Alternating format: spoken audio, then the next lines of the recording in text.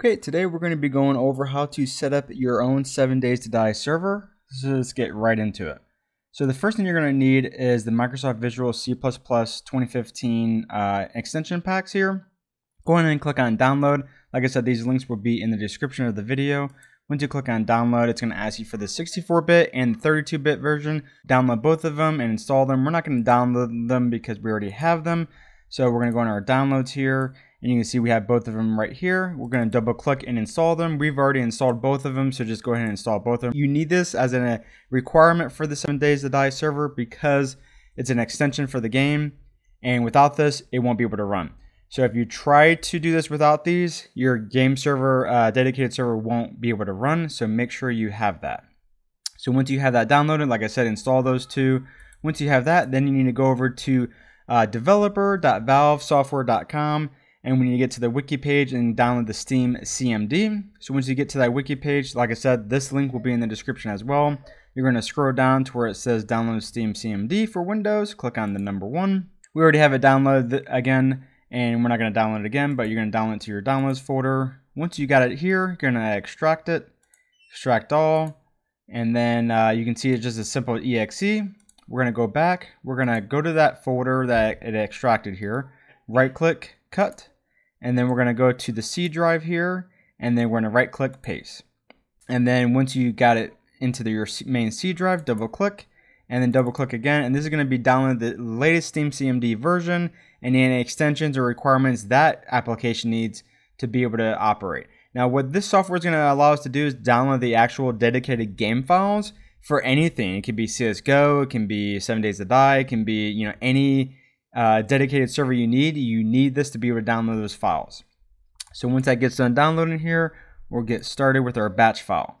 So our batch file we've already created. So it says here on the desktop.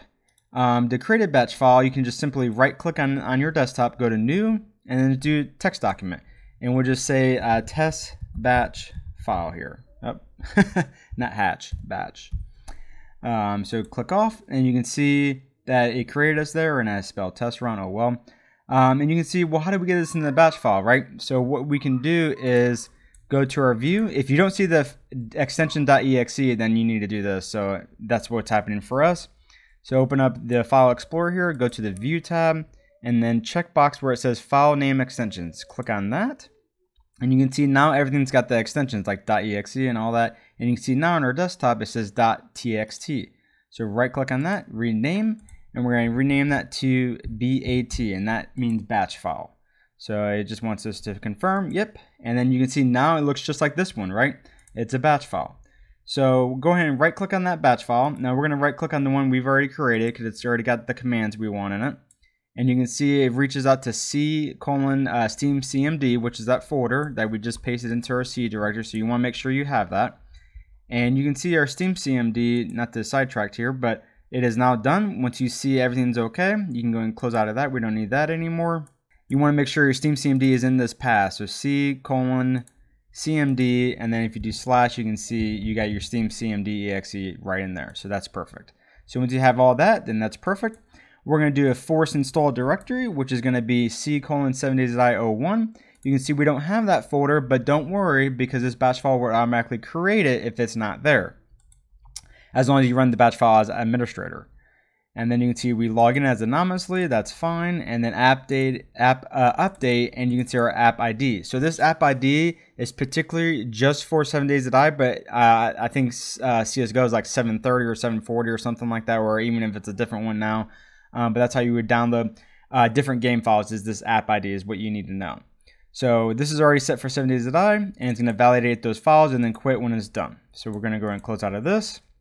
We're going to go to that batch file we created, right click, and do run as administrator. And like I said, if you're getting confused and like, well, you just created this batch file, what's what's the difference? Well, we already created the batch file. I was just showing you how to create it. So we can just simply edit both of these files. And what you would do is just copy this command into that test batch file, and it's going to do this exact same thing. I was just trying to get you to create your own batch file.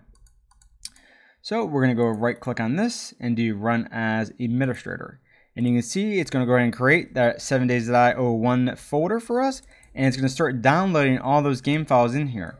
Now, once it gets done downloading, you're going to have um, it's going to automatically create the startup batch file and everything for us to get going, uh, which is amazing because I think CSGO still doesn't do that. But uh, for seven days to die automatically does that for us. So this is going to download about 15 gigs of uh, data. So between 15 and 20 gigs, depending on the update uh, and when you watch this. So give it some time. Uh, go grab some coffee or something. But yeah, it's going to take a little bit depending on your internet connection. So we'll pause and we'll come back when it gets done. Okay, when it's done, it's going to go ahead and disappear from your window. That's perfectly fine. That means it's completed. We're going to go ahead and close out our web browsers here because we don't need that anymore. Now we're just going to mess with our 7 days to .io1 folder. So go ahead and click in there. A couple things. You can see our startup batch files here. Um, you're going to right click on that and then send to our desktop because what we want to do is just have it quick access for everything. I'm going to delete, that because it's the same thing as this. But you can see we have our update batch file and then we got our startup batch files. So we'll do, um, name this the startup seven days to die server. For example, if, uh, if an update comes out to seven days to die, you want to shut off your seven days to die server and then run this same batch file and then I'll update the game files and then you can start it back up again. But keep in mind, I've seen this happen, but it overwrites your server config.xml file. So if you make some changes in here, it's going to overwrite it. So you always want to make sure before you update it to just right click on this and copy and paste it to your desktop just to make sure you have a backup of it. So let's go ahead and I'm to show you a couple things in here. Let's go into your config and edit. Now I'm using Notepad++. You can use uh, just a regular Notepad on, on your machine, but I like Notepad++ because it's just easy to read and it gives you the lines and it just shows you everything, right? We went ahead and changed our server name to hosted by IGN, but you can change it to whatever you want, whatever, you know, game clan or anything you're you're on. The description of the server, you change it here. If you this is important here, server password. Now, if you don't want anyone else joining your game server, set that server password because then when they try to connect to your server, it's going to ask them for that password. So you can put that in there. We'll just put in test. Um, the port number, that's very important to know, 26900. If you have more than one server on here, then you would need to change this to like, let's say 26910, or if you have a third one, 29, uh, 26920, and so on and so on. Uh, you always want to go and make sure you're going increments of five because I believe um, seven days to die use is more than just the 1900 port, uh, the 26900 port. And speaking of ports, we need to open up some firewall rules, right? So go ahead and open up your firewall on Windows. Go to inbound rules. Now we've already created two rules here, as you can see. We created a one for UDP and TCP because you want to open up both uh, port ranges uh, with TCP and UDP. So you can see our ranges here. So to create a new firewall rule and create these on your machine, you just simply right click on inbound rules, create new rule, and we're going to select port, and we're going to do TCP, and we're going to do uh, 26900, and we're to go into a range, like I said, because it uses multiple ports. So you should be safe with the 26900 to 26905. So go, once you got in there, go ahead and hit next. Allow connection, that's fine. Everything else is default. And we'll just name this seven days to die um, TCP. So you know that this is only for TCP connections and then hit finish. Now we're gonna we're not gonna hit finish because like I said, we've already created that rule. And then you're gonna want to do the same thing for UDP, right? So your second firewall rule is gonna be port and that same port range. Very important to change it to UDP now because we've already done the TCP. So do UDP now. Same port range, same everything else, and then you just name it seven days uh, to die uh, UDP, and then hit finish. But like I said, I'm not going to do that because we've already got both of them here. Now, what this allows you to do is, let's say you have a second computer on your same network as your game server, or even if it's on your local machine, now you can connect um, on that same network to that um, server. Now, if you want your friend that's in a different state to connect to the server. Doing this alone is not gonna handle it, right? Um, unless it's the server in you know at OVH or AWS or somewhere in the cloud, then yes, that's all you would need to do, and you give them the public IP, and then you're good. But if this is your home network, you need to open up these firewall rules, and you need to go into your uh, home firewall, home router, Comcast, uh, Spectrum, whatever it might be, Frontier, and you need to get into that router and port forward these same ports from the firewall into your local uh, server here, the local IP address, um, to allow those open connections. Now, I don't know if I would recommend doing that. I like buying something in the cloud and hosting it somewhere in the cloud so it's not your your your public IP, but you know whatever you want to do. I do have a video in the description that explains how to open up ports to game servers, so you know definitely watch that video if you're interested in that. So once we got all that done, now we can go ahead and save this config file because we made some changes here. We added the uh, the test password for our password. So if we join the server, the password is going to be test to get into it, which is great because it stops uh, you know people any, anybody just joining it. And then, um, like I said, we changed our server name. There's so many other settings you can change here. I'm not going to go over all of them, um, but I'll definitely show you how to become admin in the server.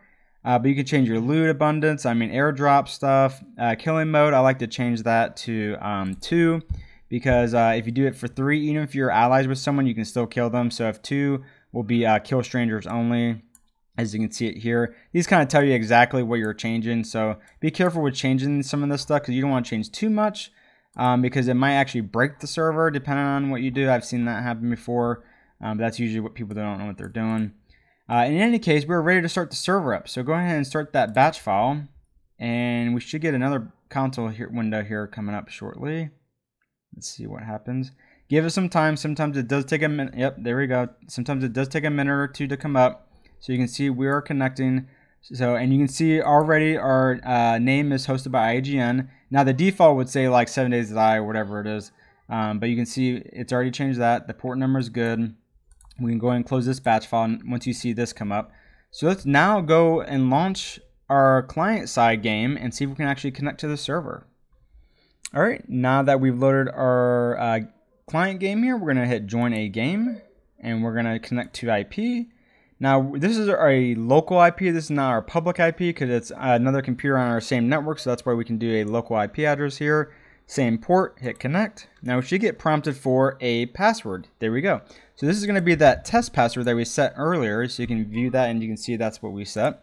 If we hit submit, then we should be able to connect. Yep, looks like it's connecting okay. So I'm going to pause it here because you know how long this can take to connect. I just went back to the server real quick and you can see I am connecting. TechnoKill, you can see that it's connecting. So let's go back and uh, see where we're at. All right, you can see we are in the server. Um, everything loaded up pretty good. Um, you can see, you know, there's no issues. It didn't give us really any error messages. Now, if you do have any error messages, I would suggest making sure your ports are open. Okay, so now you're probably wondering, well, okay, I'm in the game. Now, how do I become admin so I can administrate my own server? Great question. There's two different ways you can do this. You can simply add a uh, command in the console window, which is this command here, admin space as space the Steam ID of that uh, user that's in the game, space zero, which zero is the permission attribute, and that will give you full access to the server. Second way to do this is I already have it pulled up, but this is another thing that I want to show you. But if you go into C drive users, administrator, whatever user, it could be your username or whatever it is, you want to make sure wherever you're running the game server it's going to be in that user. Then you want to go into app data, roaming, seven days to die, and then saves. Now, if you want to back up your game server, you know, shut down your server, but then you would copy these files, and that would be an exact copy of everything you have in the game. So you want to make a backup or whatever, or move servers, that's the files you would need. And you can see an XML file here called server admins. So let's go and right click that and open that in our Notepad++, and you can see not much in here, but you can also see users, and this is where you would add um, a user here. So if I just copied this and then went down and put in the Steam ID and all that stuff, um, I don't like doing this because then you got to restart the game server and all that. But if you want to do it just right away, you can go ahead and uh, close, you know, back all that out, and then go into your console here and we're going to type in a simple command, the one that's right here. Now I'm going to use, and you go on this space here, just paste, and of course I'm going to replace my Steam ID with my actual ID, and then click add, and then we'll go on the game server and see if we have admin access. Okay, we went ahead and typed in our command here and hit enter. Once we hit enter, it's going to reload that permission uh, file here. So we're going to go back here and you can see up, oh, it's been changed. So we're going to hit yes to reload. And you can now see there's a user automatically added, that user ID, which is our Steam ID, and permission level zero, which is full admin access. So now let's go back into our game. So let's go ahead and open up F1, which brings up our console. And let's type in something called creative menu. Which will let us spawn in anything we want. Hit on enter, and it does say creative menu on. Now, if you get an error message there, um, that means because you don't have admin access. So if we hit U, if that worked, then you can hit U, and now you can spawn in anything you want. Um, a gun, or ammo, or blocks, or all kinds of stuff. Um, but yeah, there you guys have it. That's how easy it is to create a 7 Days to Die server and become admin in that server. And to fly in the server, you can actually hit H and you become no clipped and you can hit the spacebar to go up and C to go down and then H again to turn off um, fly mode. So if you wanted to get onto a building or something real quick, or if you need an administrator or something, you can do that as well. And you can do hold down shift to go faster as well. But there you guys have it. If you have any questions or maybe if I missed something, uh, please leave them in the comments below. But I hope this video was helpful and I'll see you guys in the next one. Thanks.